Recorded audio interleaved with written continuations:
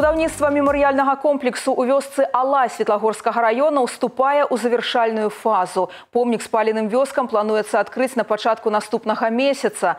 Сёння ў Але пабывалі нашы карэспандэнты. По документах вёска Ала вядомая з 1795 года. Яе назва ўтварылася ад назвы мясцовай рэчкі прытока бярэзіны. Першае, на што звяртае ўвагу кожны, хто жадае трапіць у гэтыя акружаныя лесам мясціны, укладка асфальтавага пакрыцця на дарозе, якая звязвае Алу з трасай Жлобін-Светлагорск. Праехаць тут можна было і раней, але не на кожнай машыне і толькі ў сухое надвор'е. Непасрэдна на тэрыторыі самой былой вёскі зараз працуе каля 80 супрацоўнікаў гомельскага дома будаўнічага камбіната. Адначасова з завяршэннем монтажу жалезабетонных канструкцый яны вядуць іх апрацоўку і афарбоўку. Дарэчы, агульная вага вырабленых на камбінаце бетонных канструкцый склала каля тысячы тонн. Па сутнасці, мемарыял у Але гэта памяць аб усіх мірных жыхарах, якія загінулі падчас вялікай айчыннай. Непасрэдна ў гэтай вёсцы 14 студзеня 1944 года карнікі расстралялі і спалілі 1758 чалавек, у тым ліку 950 дзяцей. У той дзень тут хаваліся жыхары некалькі некалькіх вёсак сучасных светлагорскага і жлобінскага раёнаў у іх памяць некалькі гадоў таму мясцовыя жыхары усталявалі крыш на месцы спаленай хаты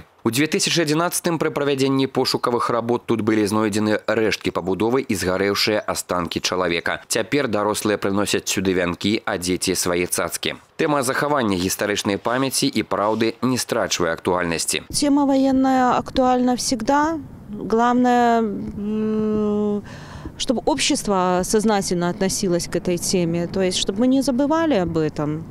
Мы не забываем трагедию войны, мы об этом говорим, воплощаем в камне, в мемориале.